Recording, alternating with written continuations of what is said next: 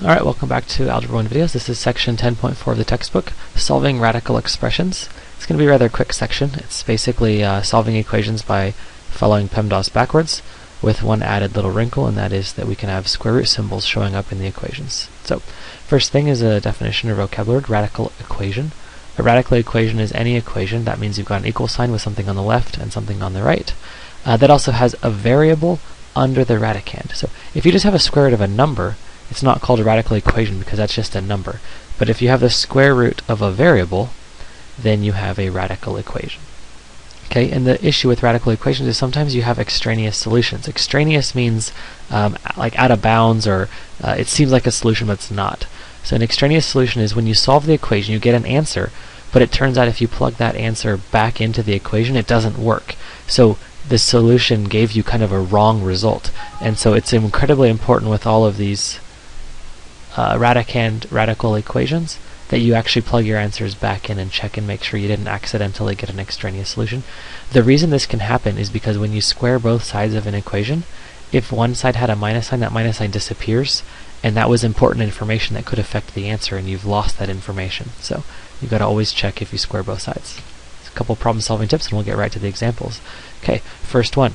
You want to simplify each expression. That's the expression on the left and the expression on the right. So simplify each side, first following PEMDAS forwards, and then solve the equation, which means working on both sides simultaneously by following the golden rule. Whatever you do on the left, you also do on the right, as well as working backwards PEMDAS. So first add and subtract to both sides, then multiply and divide on both sides, then take care of exponents, and this is the kind of location we'll be looking at is squaring or square rooting is this exponent section. So only after you've added and subtracted and after you've multiplied and divided will you be dealing with these square root symbols. Okay, you need to isolate the radicand and then square both sides. That's almost always how you're going to do it, as I was just saying. So take care of all multiplication, division, adding, and subtracting. Get that radical by itself uh, and then square both sides. Whereas in the past we got the squared part by itself and took the square root of both sides. So same idea, uh, just the opposite property. And then the last thing is just a reminder, you always have to check your answers to make sure that you didn't get an extraneous solution. Okay, so here's some examples to kind of just pick and choose. The first one is incredibly easy. There's nothing to add or subtract or multiply or divide. The square root symbol is by itself. So to solve this, you square both sides. So we square this side, and we square this side and we get of course f equals 49 you check by plugging this back in right here is the square root of 49 equal to 7 yes so it works. Fantastic. Okay let's just jump down here to number 7 you don't want to square both sides yet because you don't have the square root symbol isolated so the first thing you'll do is you'll add 6 to both sides. That gives you the square root of g is equal to 9 and here you'll square both sides and then you'll get g equals 81 and of course if you plug it back in it works. Okay how about uh, let's try uh, number eh, let's try number 9 okay so for this one you do have the square root already isolated by itself. So even though there's a multiplication and subtraction because they're inside the radical it's kind of like there's some parentheses right here even though you don't see them. They're all in the radical. So the first thing to do is to square both sides. So that cancels the radical. And then we have 2t minus 1 equals 5 squared, which is 25. Notice there's no plus or minus in any of this stuff. Okay, if we add 1 to both sides, that gives us 26. So we have 2t equals 26. And then if we divide both sides by 2, we're going to get t equals 13. Okay, we check that one. So notice how I use an arrow in between each piece as I simplify it. I don't use an equal sign. Uh, it's important to differentiate. So here's an equation where the left equals the right. Here's an arrow and then a new equation because this side here is not equal to this side here. So as I change it, I use an arrow. Now let's plug this back in and check. If I plug a 13 right here, double it, that's 26. Subtract 1, that's 25. Take the square root and we get 5. So we checked it, it still works. Um, I think you get the idea for these basic ones. So work backwards, isolate the square root, square both sides, and then keep working until you get the number by itself. Okay, notice how all of these, when you plug them back in, they worked no problem.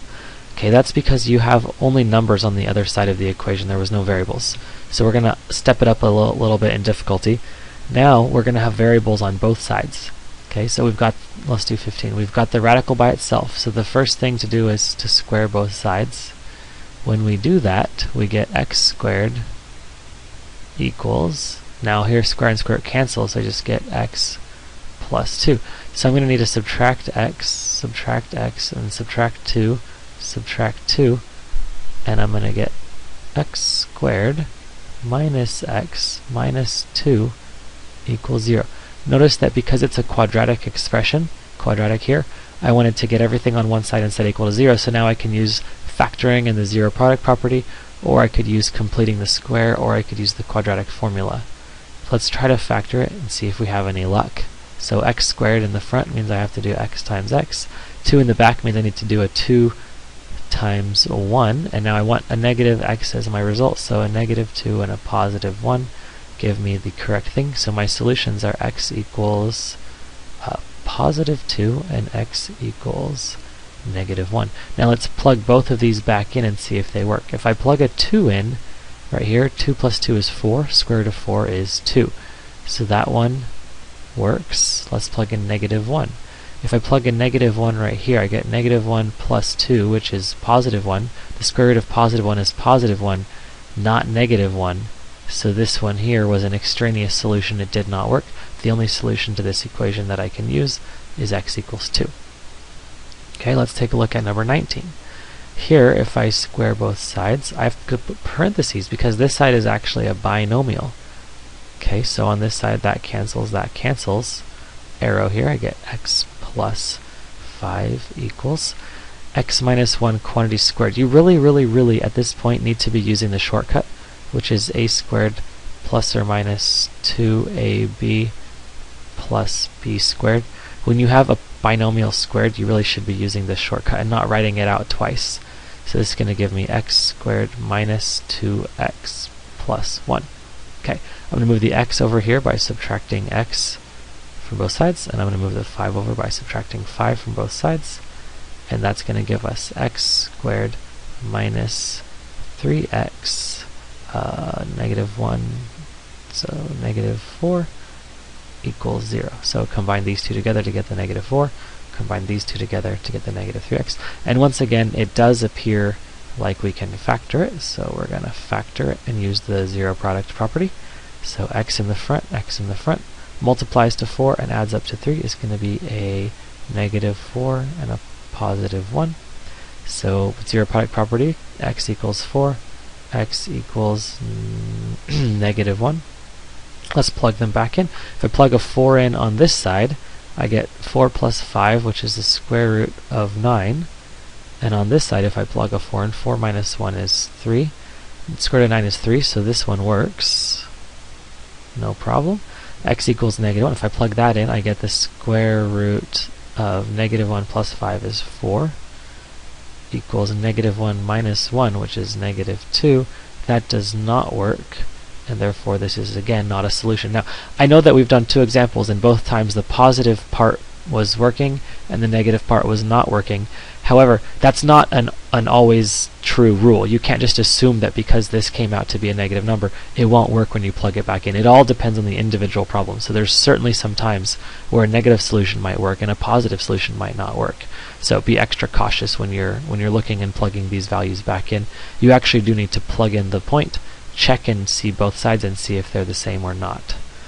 Um, I'll leave it with no more examples here because it's pretty basic. You're using the same techniques that we've always been using, except you're adding in the fact that you can square both sides.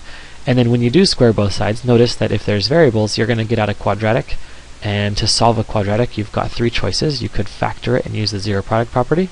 You could complete the square and work backwards. Or you could get it into standard form and then use the quadratic formula. So lots of different choices.